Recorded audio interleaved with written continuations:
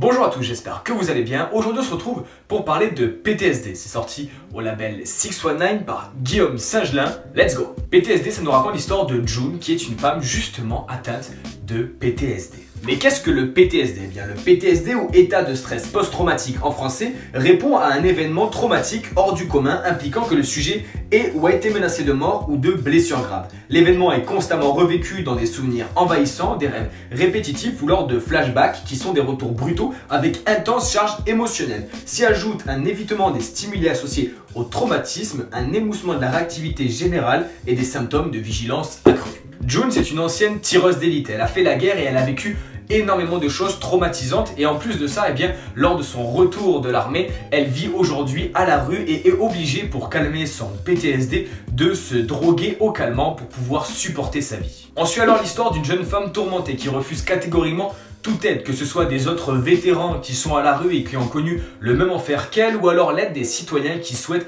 tout simplement lui donner à manger ou lui apporter un petit peu de réconfort. Et June s'enferme dans une prison intérieure et est complètement tiraillée par tout ce qu'elle a vécu durant la guerre. Et c'est complètement logique qu'elle soit tiraillée par tout ce qu'elle a vu et vécu durant la guerre, mais en plus du PTSD qui lui rend la vie très difficile, elle a du mal à survivre. Et encore plus lorsqu'elle n'a plus ses calmants. Elle va alors commencer une sorte de vendetta contre les dealers dans le but de se procurer ce dont elle a besoin pour survivre et tenir psychologiquement, ce qui va entraîner pas mal de conflits au sein de la ville. La vendetta de June va emmener énormément de répression et de violence contre les anciens vétérans également sans domicile fixe alors que c'est simplement le début de sa guerre contre la drogue dans la rue et bien sûr, je vous laisse découvrir la suite de ce comics par vous-même.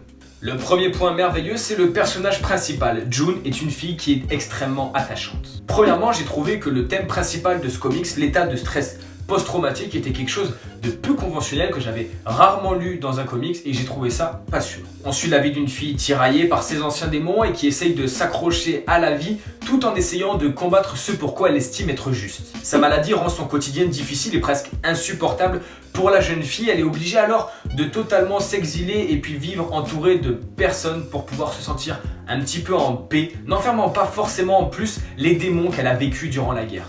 C'est le genre de choses que l'on peut sûrement pas comprendre si on l'a pas vécu et si on ne vit pas ce trouble. C'est pour ça que j'ai trouvé ça très intéressant et très bien mis en avant sur June. Ça m'a permis de mieux comprendre les personnes souffrant de PTSD. J'ai trouvé ça génial que ce soit mis en avant dans un comic. J'avais déjà vu ce thème principal dans beaucoup de films. Pour vous citer un exemple, on pourrait parler par exemple d'American Sniper, dans lequel eh bien, le militaire rentre de la guerre et justement souffre de cet état, de cette maladie psychologique. Et j'ai trouvé que dans ce comic, c'était parfaitement retranscrit. Mais ce comics ne nous raconte pas seulement l'histoire d'une jeune fille malade. Parce que j'ai trouvé que cette histoire pointe le doigt sur énormément de problèmes sociétaux. La première chose que j'ai remarqué dans ce récit, c'est que c'est une critique de la banalisation des gens par rapport au PTSD. Parce que j'ai remarqué que beaucoup de personnages principaux dans ce récit prennent les anciens vétérans qui vivent à la rue et qui se droguent pour pouvoir supporter la vie, ils les voient plus comme des victimes que comme des malades.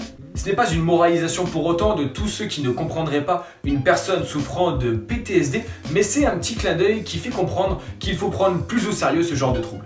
On a à côté de ça une critique de la société. D'un côté, on a les dealers de drogue et les différents gangs qui profitent de la maladie des anciens vétérans pour leur refourguer leur calmant et faire leur business. Et d'un autre côté, les gens et les citoyens qui ferment les yeux sur tout ce qui se passe. On nous montre alors, et je pense que c'est pas forcément vrai que pour le PTSD, mais plus généralement pour tout ce qui se passe tous les jours dans le monde, que les gens préfèrent fermer les yeux plutôt que de s'occuper des vrais problèmes.